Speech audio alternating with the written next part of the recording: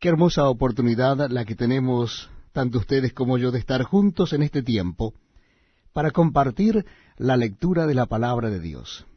Una porción de las Sagradas Escrituras que en esta oportunidad será en Génesis capítulo 16. Dice así la palabra de Dios.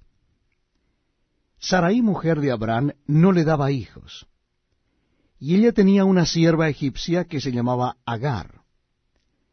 Dijo entonces Saraí a Abraham, Ya ves que Jehová me ha hecho estéril, te ruego pues que te llegues a mi sierva, quizá tendré hijos de ella. Y atendió Abraham al ruego de Saraí. Y Saraí, mujer de Abraham, tomó a Agar, su sierva egipcia, al cabo de diez años que había habitado Abraham en la tierra de Canaán, y la dio por mujer a Abraham su marido. Y él se llegó a Agar, la cual concibió, y cuando vio que había concebido, miraba con desprecio a su señora. Entonces Sarai dijo a Abraham, Mi afrenta sea sobre ti. Yo te di mi sierva por mujer, y viéndose encinta me mira con desprecio.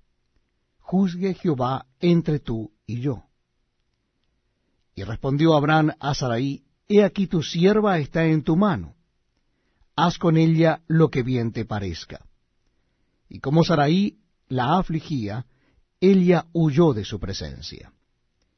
Y la halló el ángel de Jehová junto a una fuente de agua en el desierto, junto a la fuente que está en el camino de Sur. Y le dijo, Agar, sierva de Sarai, ¿de dónde vienes tú y a dónde vas? Y ella respondió, Huyo de delante de Sarai mi señora. Y le dijo el ángel de Jehová, Vuélvete a tu señora, y ponte sumisa bajo su mano. Le dijo también el ángel de Jehová, Multiplicaré tanto tu descendencia que no podrá ser contada a causa de la multitud.